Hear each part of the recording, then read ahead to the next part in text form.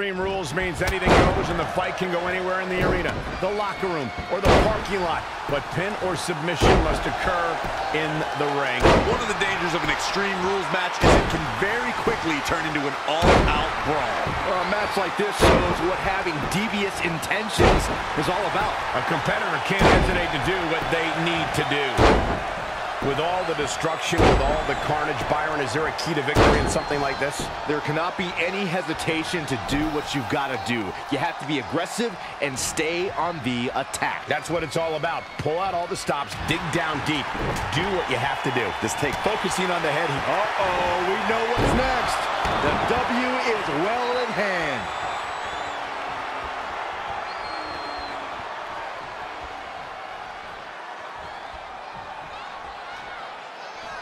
This could do it.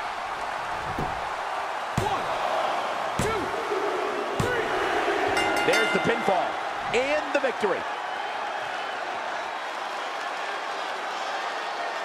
Now let's take a look back at these ladies in action.